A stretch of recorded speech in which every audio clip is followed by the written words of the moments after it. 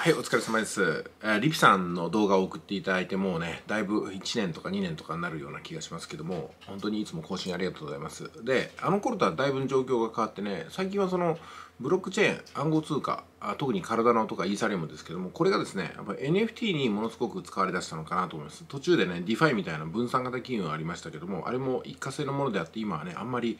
話題に出ることはないのかなと思いますし私もねちょっと関心を失ったってところなんですね。あのもう問題が複雑すぎるとその複雑さを簡単にしてもらえるようなねエンジニアさんが現れるまでもしくは仲介者インフルエンサーが現れるまでほっとかれるっていう現状がありますよね。その間にえー先行して利益を得るのかそれともおなんかわけのわかんないまま消えていって無駄投資になるのかってことがあると思いますけども NFT はね確実な市場を作っていてこれで、えー大きく2つに分かれていてね NFT を誤解して利用してる方が結構いらっしゃるのときちんと下地を作り上げてで、えーとアーティストとねちゃんとタッグを組んでやってるっていうところがあるのかなと思います、まあ、私の聞くところによるとですね、まあ、昨日ね実はねある NFT の集会をこう企画して実施したわけですけどもうんかなりすなんていうんですかね大物が来てくれましたね、うん大物が来てくれたぐらいしか言えないんですけどもよくね私の呼びかけで来てくれたなと思いますよね。まあそれだけ見てくださってる方が少数であっても濃いファンがいたんだろうなと思います。まあその中で日本初の NFT 美術館多分世界初かもしれませんけどもまだね NFT 美術館ないんでこの国の一定のレベルの認定を受けた美術館が NFT をねこれからまあ売買していくっていうんですか。うん、でねこのね NFT 美術館ナルト美術館のすごいところは実はね今オーナーさんって28歳の方なんですよ。でこの人も昨日ねちょっと喋ってみて分かったんですけどもあまあ天才っているもんだなと思いましたね。私めったに人の話でねすげえなと思うことはないんですけどもついていけるかなっていうふうなところまでその28歳の素晴らしいね才能に触れてねあまだこの国やっていけるかもしれないなとちょっと希望を見出しました。うん、なんか他人と会ってて良かったなと思えることがたまにあるんですけどもそのうちの一つだったかなと思いますね。でこの NFT 美術館の館長私もすごくね問題だと思ってたのがあの入場者の売り上げが美術館の売り上げになっているっていうところが多分多くの美術館がやっていけてないところだと思うんですよ。でも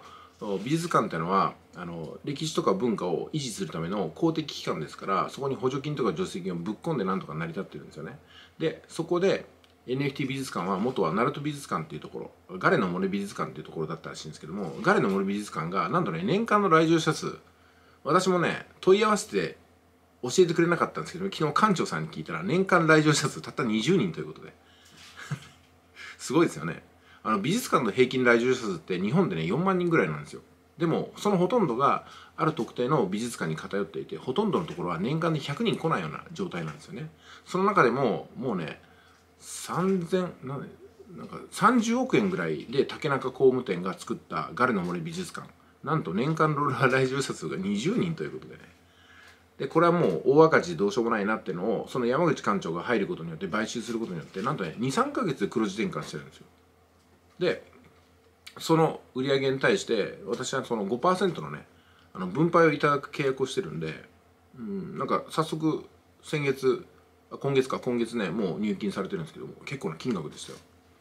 でこの NFT 美術館はあの来館者要するに入場者数の入館料を目当てに売り上げを立ててるわけじゃなくて美術品をお預かりして保管するってことに対してコミッションを得てるんですよね。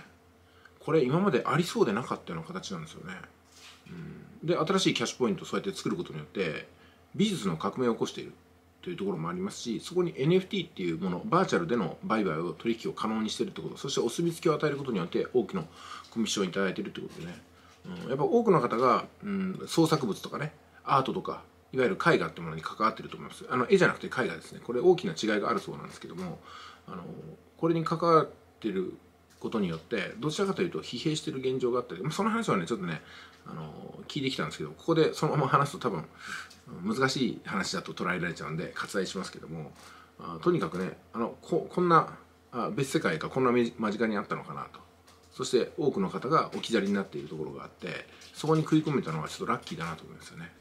とにかく分配で今月70万もらってますんで分配でね。っていうことは元の売り上げってどのぐらいあるのかなとか想像すると早速このできたばかりのマーケットで、まあ、数十億円から数百億円が生まれていてしかも昨日ね実際の取引を見せてもらったんですけどもあの DAO っていう新しい概念がブロックチェーン上にあってご存知かわからないですけども DAO っていうのがねそこにもう世界中から資金がポンポンポンポン投げられてるんですよね。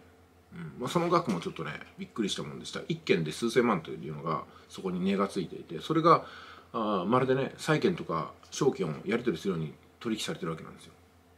でのほほんとに私たち暮らしてる中でなんか何十円節約しようかなとかね何百円高くなったなとかって気にしてる横で知らないところでねそういった DAO 上でブロックチェーン上で数千万円が一件数千万円がポンポンやり取りされてるみたいなことがあって。これはなかなか、うん、意味深いもんだなと思いましたね。そこにまあ先行者として入れたのはラッキーだなと思いますしその利益をもうすでに得ているっていうところであのま、この NFT に関われてよかったなっていうのと NFT の前にはブロックチェーンとか暗号通貨があったわけじゃないですか。ですから2014年とか2015年にこの世界に足を踏み入れたからこそそして諦めずに離脱せずにそこで利益を積み上げてきたからこそここに今立ってるのかなと思ったら今から簡単にね AI アートとか NFT とかって入っていけるんじゃないなっていうのは本当に深く実感したんで今から参入される方っていうのはもっともっと基礎のところからやらないと出口のない入り口にね入ってしまうような恐れがあるんですよね、まあ、そういったことも込みでうん、なるべく自分の私のね見識の限りで正確にこの世界のことをお伝えしていければなと思いますよね。もちろんそこに、えー、体のが関わっていければ一番いいなと思いますけども、まあ、イーサリアムが来てますんでね。イーサリアムが今メインで動いてるんで体の道が開けるのもそう遠くないことだと思います。では引き続きよろしくお願いします。